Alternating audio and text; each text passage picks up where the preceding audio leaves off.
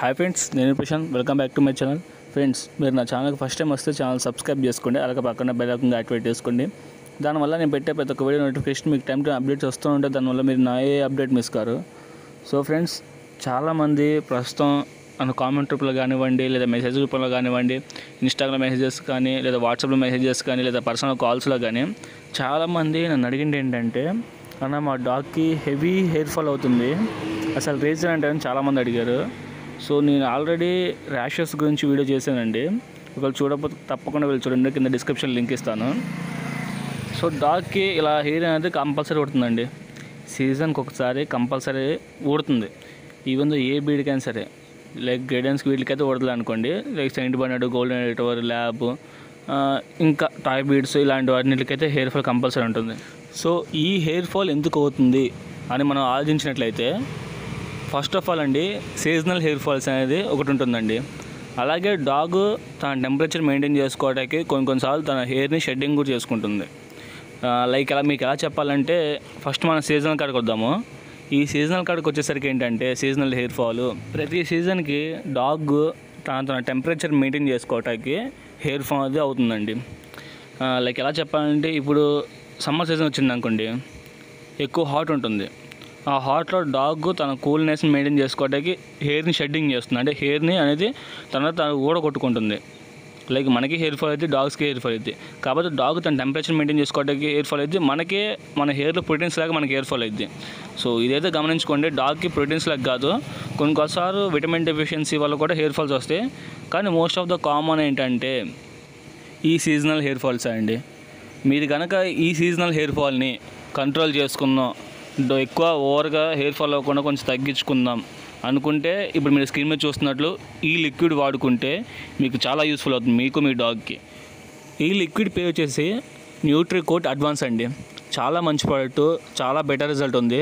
Side effect అయితే లేనే లేదు. దయచేసి ఒకవేళ మీకు వీరైతే మీ డాగ్కి హెయిర్ ఫాల్ అవుతుంటే ఒకసారి పెట్ షాప్లోకి వెళ్ళి కొనుక్కోండి. లేదు మా పెట్ షాప్ చాలా దూరం అనుకుంటే కింద డిస్క్రిప్షన్ లింక్ ఇస్తాను. లింక్ ద్వారా వెళ్ళి కొనుక్కోవచ్చు. ఫ్లిప్కార్ట్స్ ఉన్నాయి. బాగానే మీకు మంచి ప్రోడక్ట్స్ దొరుకుతాయి. హెయిర్ ఫాల్తో కామన్ అండి. జస్ట్ మీరు ఆ హెయిర్ ఫాల్ని కంట్రోల్ చేసుకోవడానికి ఈ ప్రోడక్ట్ వాడుతున్నారు. ఈ ఈ ప్రోడక్ట్ వాడితే హెయిర్ ఫాల్ తగ్గిపోయిద్ది అని చెప్పను కానీ కంట్రోల్ అయ్యిద్ది మంది అనుకుని ఉండొచ్చు ఏంటన్నా నువ్వు వేరే వీడియోలు చూసి మాకు చెప్తున్నావు? అని చాలామంది డౌట్ రావచ్చు. సో ఆల్మోస్ట్ నేను చాలా వీడియోస్ చూశానండి. చాలామంది చెప్తారు వాళ్ళ కోసం చెప్తారు. మనం ఒక నలుగురికి మన తెలుగు వాళ్ళు చెప్తున్నప్పుడు మన చాలామందికి హిందీ రావాలని కూడా ఉంటారు. మన తెలుగు వాళ్ళు చెప్తున్నప్పుడు ఆ ప్రోడక్ట్ ఒకసారి రివ్యూ చూసి అంటే మనం ఒక టూ త్రీ మంత్స్ వాడి చెప్తే దాని రిజల్ట్ బాగుంటుంది ఆడు చెప్పాడు అని చెప్పి మనం తక్కువని ఆ వీడియో చేసుకుంటే చాలా తప్పండి అది. నేను ఏ ప్రోడక్ట్ అయినా సరే నేను ఒకటికి వన్సార్లు వాడితేనే మీకు చెప్తాను. నా సైడ్ నా దగ్గర నా సైడ్ నుంచి రిజల్ట్ లేకపోతే మీకు తప్పకుండా ఒకటే మాట చెప్తాను అండి నేను యూజ్ చేయొద్దని చెప్తాను. ఈవెన్ నన్ను చాలామంది కాల్ చేసి అడిగాడు కూడా అన్న ఏ ప్రోడక్ట్ వాడితే మంచిది? నేను ఇంకా వాళ్ళకి ప్రోడక్ట్ గురించి అది చెప్పలేదు. వాళ్ళు కనుక ఈ వీడియో చూస్తే ఒకసారి ప్రోడక్ట్ యూజ్ చేయండి. నేను చెప్పాను కదా పర్టికులర్గా టోటల్గా తగ్గిపోతుందని చెప్పను. హెయిర్ ఫాల్ అనేది కామన్ దాన్ని మీరు కంట్రోల్ చేసుకొని దీన్ని వాడుకోవచ్చు. సో అదండి. ఇంకో విషయం ఏంటంటే నన్ను చాలామంది అన్న డాగ్కి ర్యాషెస్ రావడం వల్ల హెయిర్ కూడా ఊడిపోద్ది అని చాలామంది అడిగారు. దాని గురించి కూడా ఒక చిన్న పాయింట్ చెప్తాను. వినండి. ఈ ర్యాషెస్ అనేవి మోస్ట్ ఆఫ్ ద డాగ్స్ ఎందుకు వస్తాయి అంటే మీ డాగ్ ఎక్కువ వాటర్లో ఆడినా మీరు ఆ- ఆడిన తర్వాత మీ డాగ్ని పర్ఫెక్ట్గా క్లీన్ చేసి అంటే కడిగేసి బాతింగ్ చేసి ఒళ్ళు నీట్గా తుడవకుండా నీట్గా గ్రూమ్ చేయకపోతే ఈ ర్యాషెస్ అనేవి వస్తాయండి. నీట్గా మీరు మీ డాగ్కి స్నానం చేయించి నీట్గా దువ్వితే అసలు ర్యాషెస్ అనేది రావు. మీ డాగ్ ఎక్కువ వాటర్ ఆడుతుండేది ఆ వాటర్ సాల్ట్స్ అన్వాంటెడ్ మినరల్స్ ఏవి పడితే ఈ బ్యాక్టీరియా అన్నీ ఉండటం వల్ల డాగ్ హెయిర్కి అంటుకుంటాయి.